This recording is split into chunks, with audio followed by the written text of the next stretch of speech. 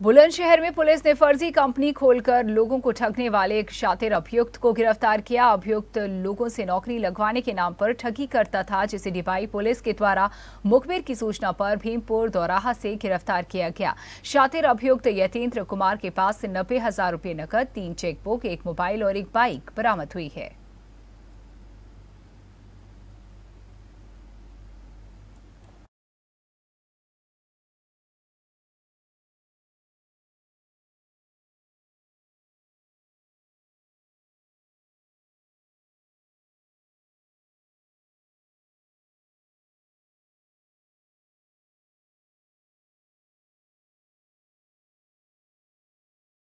थाना डिबाई एवं cyber cell जनपद बुलंदशहर द्वारा संयुक्त रूप से एक सराहनीय कार्य किया गया है, जिसमें वेंकटेश नाम का युवक, एक युवक जो हैदराबाद का रहने वाला है, उसे एक फर्जी कंपनी खोल करके और उसे नौकरी का, नौकरी दिलाने का झांसा दे करके उससे कुल पचहत्तर हज़ार रुपये ठग ठग लिए गए थे।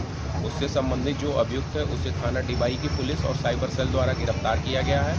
गिरफ़्तार करने के साथ ही उसके पास से कुल नब्बे हज़ार रुपये की नकदी फ़ोन चेकबुक आदि भी बरामद किए गए, उसकी बाइक भी बरामद की गई है। संबंधित व्यक्ति को गिरफ़्तार कर अग्रिम विधिक कार्रवाई पुलिस द्वारा की जा रही है। अगर आपको हमारा वीडियो पसंद आया हो तो हमें लाइक करें सब्सक्राइब करें और ज़्यादा से ज़्यादा शेयर करें। और हाँ बेल आइकॉन दबाना ना भूलें, ताकि हर खबर का अपडेट आप तक पहुँचे तुरंत। आप हमें इंस्टा ट्विटर और फेसबुक पर भी फॉलो कर सकते हैं। हमारी आईडी है at the rate J M D news